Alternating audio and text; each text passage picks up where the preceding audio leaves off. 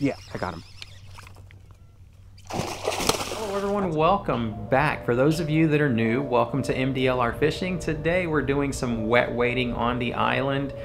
We have got very, very hot weather out there and uh, temperatures are darn near approaching the 100 degree mark. So I figure we'll take comfort inside the water. Got the spinning reel, all my bugs inside the sling pack. Let's get out there and see what happens.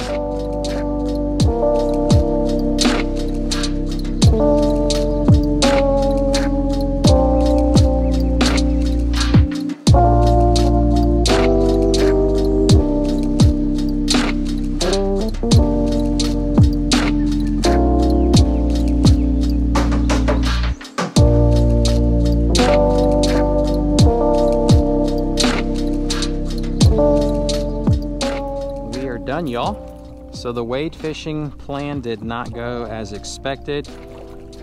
We'll get home, regroup, and come right back out again tomorrow.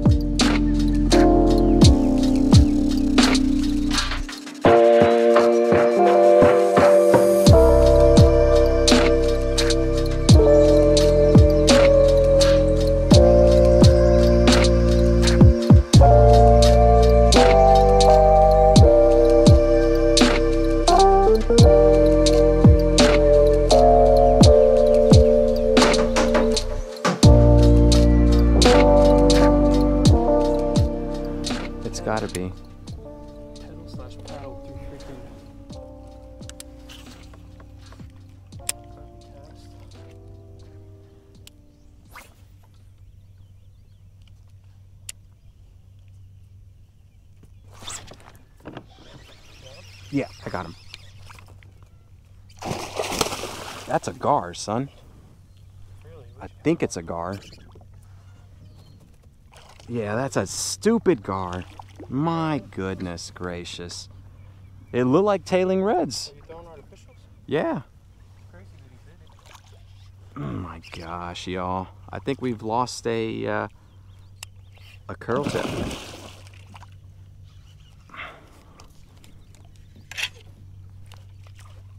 Oh my gosh, he's got the line in my kayak.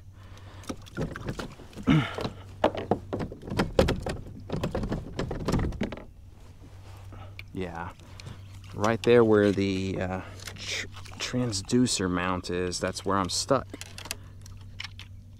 There we go.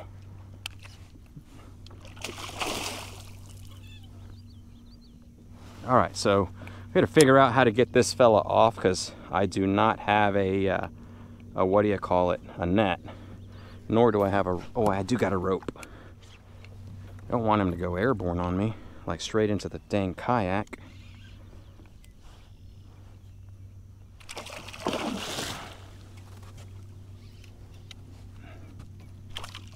There we go.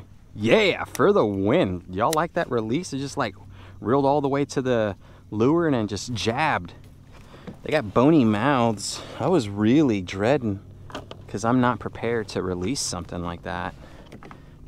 Gosh, I know. Y'all may call me a weenie. I don't care. Gar have way too many teeth. Got a nice sized gator right there. Just popped up. Christian pointed him out to me. We're now in the marsh. And uh, I told him earlier today we just needed to be mindful of the active gators that are going to be out here. That one, based off of his head, the size of him, probably a five footer, six, somewhere around there. You trying to stay together so Yeah. bigger? Yeah.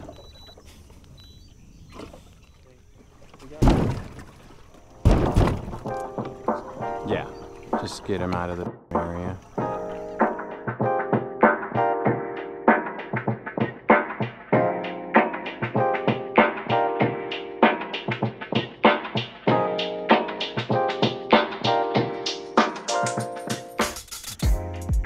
I'll never forget Lawson Lindsey's like recent video where he literally had to smack a big gator away from him. That had to have been so scary. And he wasn't even on a kayak. He was on a paddleboard.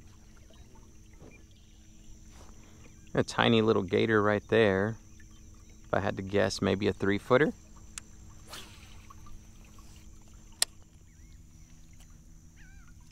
Oh, that's a big gator. Right in front of us. The gator? Yeah. Like literally right here. I thought it was like one of those uh, floats.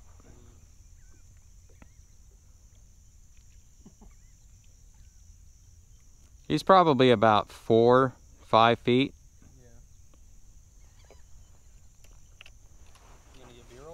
Yeah. No, I'm gonna get my paddle ready to to whack him because he's not he's not going away.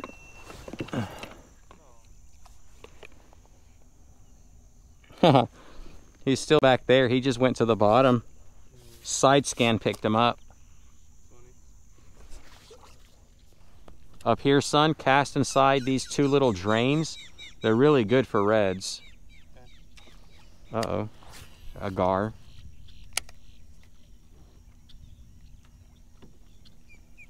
Had to have been a gar. But I'm gonna cut my motor so that you can come cast.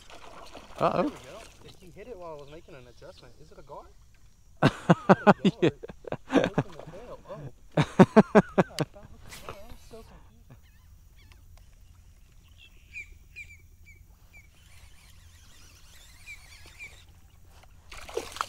It's a little gar. Got a long nosed gar, y'all, chasing bait inside there. Fooled me because I thought it was a red, but look at that. Try to do that same old trick. Oh gosh, no, he ain't getting unhooked. That is right through the nose. Well, we got him right through the kisser. A little bitty gator gar. I think this is gonna be it, y'all. Uh, I'm not too sure what y'all caught of my conversation with Christian. He was uh, telling me like he doesn't think it's gonna happen, and I agree with him. It is hot. We we have very high temperatures right now, a high heat index. The water temp is 87, almost 88 degrees, and it's going to be unbearable for any fish to want to bite in shallow waters. So in the marsh during this time frame, you got to come out super early before the sun starts doing its thing. But right now we're 9:30, and I bet we have like a heat index of like the mid 90s supposed to get up to 102 somewhere around there and the fish just aren't going to bite. I mean it would be suicidal for them to chase something down and not be able to breathe at the same time and it would be like bad sportsmanship on our part to stay out in the marsh to continuously try to catch something that we're not going to take home to eat um, because of the high water temps. After they exhaust themselves on a fight there's really no oxygen in there for them to breathe. And in the past i've had to take home fish like in my second season here i learned that you just don't do that. So you get off the water before 11 a.m and you just call it a day. So uh, we're more than likely gonna call it quits right now. I will still fish. If y'all see me catch something well obviously it's gonna be on the video but thank you for sticking with me through two days of fishing. It's been tough.